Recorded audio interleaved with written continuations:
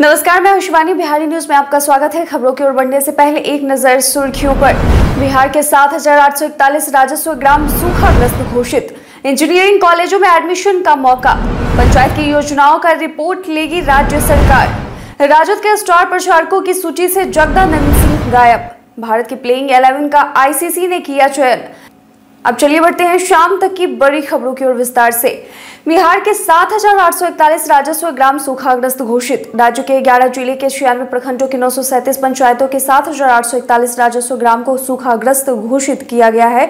यह निर्णय एक दिन पूर्व कैबिनेट में लिया गया है। बीते दिन शनिवार को आपदा प्रबंधन विभाग ने अधिसूचना जारी कर दी है। आपदा प्रबंधन विभाग के अनुसार सूखाग्रस्त जिला जहानाबाद, गया, औरंगाबाद, शेखपुरा, नवादा, मुंगेर, लखीसराय, भागलपुर, बांका, जमुई और नालंदा में वर्षापात में तीस फ़ीसदी से भी अधिक की कमी रही है। बता दें कि सूखाग्रस्त जिलों के सभी प्रभावित परिवारों को जिलाधिकारियों की अनुशंसा पर विशेष सहायता के रूप में पैंतीस रूपए दिए जाएँगे। यह राशि सीधे लाभुकों के खाते में दी जाएगी। इंजीनियरिंग कॉलेजों में एडमिशन का मौका। बिहार के सरकारी व निजी इंजीनियरिंग कॉलेजों में बीटेक में खाली बची सीटों पर एडमिशन के लिए मॉप अप काउंसलिंग का आयोजन किया जाएगा। अब तक इंजीनियरिंग कॉलेजों में एडमिशन फॉर्म भरने से वंचित स्टूडेंट्स भी एडमिशन के लिए फ्रेश रजिस्ट्रेशन करवा सकते हैं। जेई मेन दो हज़ार बाईस में शामिल अभ्यर्थी एडमिशन के लिए इस राउंड में हिस्सा ले सकेंगे। बता बता दें कि बिहार संयुक्त प्रवेश प्रतियोगिता परीक्षा परिषद ने मॉप अप काउंसलिंग के बीते शनिवार को शेड्यूल जारी कर दिया है। रजिस्ट्रेशन 16 अक्टूबर से शुरू है। ऑफलाइन काउंसलिंग 2 नवंबर से शुरू होगी। स्टूडेंट 16 से 21 अक्टूबर रात 10 बजे तक रजिस्ट्रेशन करवा सकते हैं। फॉर्म में सुधार 22 अक्टूबर रात ग्यारह बजकर उनसठ मिनट तक कर सकते हैं। मेरिट लिस्ट का प्रकाशन 25 अक्टूबर को होगा।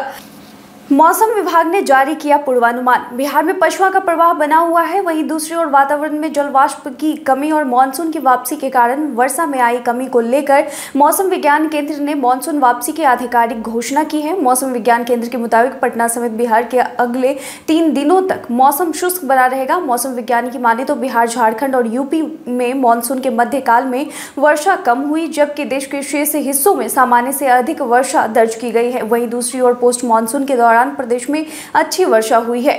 पंचायत की योजनाओं का रिपोर्ट लेगी राज्य सरकार। ग्राम पंचायत में चल रही योजनाओं के बेहतर क्रियान्वयन, समय पालन आदि के लिए जिलों और प्रमंडलों में क्वालिटी मॉनिटर की तैनाती की गई है। सेवानिवृत्त वरिष्ठ अभियंताओं का चयन क्वालिटी मॉनिटर के रूप में किया गया है। इनके माध्यम से पंचायती राज विभाग रोज योजनाओं की रिपोर्ट लेगा। क्वालिटी मॉनिटर पंचायतों में जाएँगे और योजनाओं का निरीक्षण कर विभाग को रिपोर्ट करेंगे। विभाग ने कहा है कि सप्ताह में कम से कम तीन दिन अलग अलग प्रखंड के एक एक पंचायत में गुणवत्ता मॉनिटर भ्रमण करेंगे और वहाँ की योजनाओं का अध्ययन करेंगे। योजनाओं की गुणवत्ता को परखेंगे, योजनाओं का क्रियान्वयन बेहतर ढंग से हो, इसे सुनिश्चित भी करेंगे, अपने कार्यों की प्रतिदिन रिपोर्ट विभाग को देंगे। उद्यमी सम्मेलन में बार बाला के डांस मामले में होगी कार्रवाई। बिहार के औरंगाबाद में आयोजित जिला स्तरीय उद्योग मेला सह प्रदर्शनी कार्यक्रम में बार बालाओं ने जमकर ठुमके लगाए। बिहार सरकार द्वारा आयोजित यह कार्यक्रम ज़िले के गेट स्कूल मैदान में आयोजित की गई थी, जिसके बाद इस मामले में पूछताछ में जिला उद्योग के महाप्रबंधक सत्येंद्र चौधरी ने कहा कि ऐसी हरकत करने वालों पर कार्रवाई की जाएगी, वहीं अगर ज़रूरत पड़ी तो प्राथमिकी भी दर्ज की जाएगी। उन्होंने बताया कि बिहार सरकार द्वारा आयोजित उद्यमी सम्मेलन का उद्घाटन, उद्योग मंत्री समीर महासेठ ने किया था। शाम में उद्घाटन के बाद कार्यक्रम की शुरुआत हुई। रात होते होते सरकारी कार्यक्रम में स्टेज सजा और बाहर से बुलाई गई ऑर्केस्ट्रा पार्टी की बार बालाओं ने जमकर कमर लचकाए इस दौरान अश्लील गानों पर जमकर डांस हुआ। रेलवे लाइन और सरयू नदी पर पीएनजी गैस में बाधक। दिसंबर से पहले नगर निगम क्षेत्र के हर घर में पीएनजी की सुविधा दी जाएगी। यह सुविधा दीपावली के पहले ही मिलने थे। लेकिन रेलवे लाइन क्रॉसिंग और दक्षिण में स्थित सरयू नदी क्रॉसिंग कार्य में विलंब होने से इस सुविधा सुविधा के मिलने में भी विलंब हो रहा है। वैश्विक शहर के जिन घरों में पीएनजी अभी तक नहीं पहुँच सकी है, वहाँ पर सर्विस देने की तैयारी में आईओसीएल जुट गया है। आईओसीएल यानी इंडियन ऑयल कॉरपोरेशन लिमिटेड ने चालीस हज़ार से अधिक घरों तक पीएनजी की सर्विस देने की तैयारी की है। जानकारी के अनुसार कार्यकारी एजेंसी शहर के चालीस हज़ार होल्डिंग में पीएनजी गैस कनेक्शन पहुँचाने का लक्ष्य निर्धारित कर चुकी है। नीतीश कुमार पालेंगे गाय। मुख्यमंत्री नीतीश कुमार का रिश्ता गाँव, गाय और गोबर से। आज भी अटूट है। ऐसे में मुख्यमंत्री नीतीश कुमार की योजना पैतृक गाँव कल्याण बिघा में गाय पालने की है। सीएम के पुराने और जर्जर कच्चे पैतृक आवास को ग्रामीण के सहयोग से पक्का कर लिया गया है। उसी में गौशाला भी बनाई गई है, लेकिन गायें कब आएँगी, इसकी तिथि या महीना अभी तय नहीं हुआ है। सीएम के घर की चाबी रखने वाले रजनीश कुमार सिंह ने बताया कि गाय पालने की तैयारी पूरी कर ली गई है। बस गायों का इंतज़ार है। रजनीश ने बताया कि तत्काल यहाँ दस गाय रखनी है। हालाँकि गौशाला की क्षमता इससे अधिक की है। अक्षरासी का कार्यक्रम कराना पड़ा महँगा। कैमूर ज़िले के भभुआ शहर में एक व्यवसायी को बिना अनुमति भोजपुरी अभिनेत्री अक्षरा सिंह का कार्यक्रम कराना महँगा पड़ गया है, जिसके बाद प्रशासनिक पदाधिकारियों के आदेश का अवहेलना करने के मामले में संजय कुमार सड़ावगी उर्फ़ लल्लू भाई समेत तीन लोगों पर भभुआ थाने में प्राथमिकी दर्ज की गई है। दरअसल बीते शुक्रवार को भभुआ शहर में एकता चौक के समीप मेन रोड पर लल्लू भाई के शोरूम का उद्घाटन था। यहाँ उद्घाटन के मौके पर भोजपुरी की स्टार अक्षरा सिंह का कार्यक्रम था। अक्षरा सिंह को देखने के लिए यहाँ दिन के ग्यारह बजे से ही शोरूम के सामने मुख्य सड़क पर भारी भीड़ इकट्ठा हो गई थी। भारी भीड़ इकट्ठा होने के कारण एकता चौक से समाहरणालय जाने वाले शहर का मुख्य सड़क जाम हो गया था। पार्षद की लड़ाई में फंस गई मेनका गांधी। मुजफ्फरपुर जिला मुख्य न्यायिक दंडाधिकारी के अदालत में उत्तर प्रदेश के सुल्तानपुर सांसद मेनका गांधी के विरुद्ध मुकदमा दायर कराया गया है और यह मुकदमा मुजफ्फरपुर के अधिवक्ता सुशील कुमार सिंह ने दर्ज किया है। परिवादी सुशील कुमार सिंह का आरोप है कि मेनका गांधी ने उन्हें फ़ोन पर असम्मानजनक शब्दों का प्रयोग किया और नेतागिरी छोड़ने की सलाह दी। इस मामले में कोर्ट ने परिवादी की अर्जी की स्वीकार कर ली है और मामले में 11 नवंबर को सुनवाई करेगी। इस मामले में परिवादी ने आईपीसी की धारा 500, 504 और 506 की धारा के तहत मामला दर्ज कराया है। राजद के स्टार प्रचारकों की सूची से जगदानंद सिंह गायब। बिहार विधानसभा की दो सीटों गोपालगंज और मोकामा के लिए उपचुनाव हो रहा है। इस चुनाव में दोनों ही सीटों पर राजद के उम्मीदवार मुकाबले में उतर चुके हैं। ऐसे में राजद ने उपचुनाव के लिए अपने स्टार प्रचारकों की सूची चुनाव आयोग को भेज दी है। इस सूची में राजद के प्रदेश अध्यक्ष जगदानंद सिंह का नाम गायब है। वहीं उप मुख्यमंत्री तेजस्वी यादव के साथ पर्यावरण, वन एवं जलवायु मंत्री तेज प्रताप यादव का नाम राजद के स्टार प्रचारकों की सूची में मुख्य रूप से शामिल है। इसके अलावा राजद के स्टार प्रचारकों की सूची में पूर्व मंत्री अब्दुल बारी सिद्दीकी, शिवचंद्र राम, पूर्व विधानसभा अध्यक्ष उदय नारायण चौधरी, पूर्व मंत्री श्याम रजक, तनवीर हसन, मंत्री आलोक मेहता और राजद विधायक भोला यादव के नाम भी शामिल है।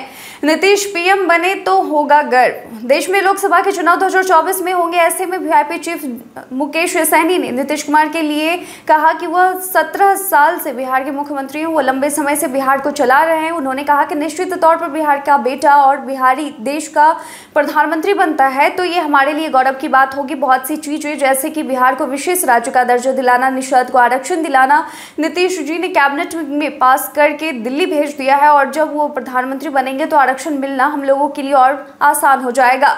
तेजस्वी यादव जल्द बनेंगे बिहार के सीएम। बिहार की राजनीति में चौंकाते हुए आरजेडी विधायक इजहार असफी ने बीते दिन शनिवार को दावा किया कि तेजस्वी यादव एक या दो महीने वास्तव में बिहार के मुख्यमंत्री बनेंगे। किशनगंज में आरजेडी विधायक इजहार असफी ने यह दावा तब किया है जब विधानसभा में प्रतिपक्ष के नेता विजय कुमार सिन्हा ने शनिवार को नीतीश कुमार पर जोरदार निशाना साधते हुए कहा कि जदयू के विधायक अब सुरक्षित आश्रय ढूँढने में जुटे हुए हैं।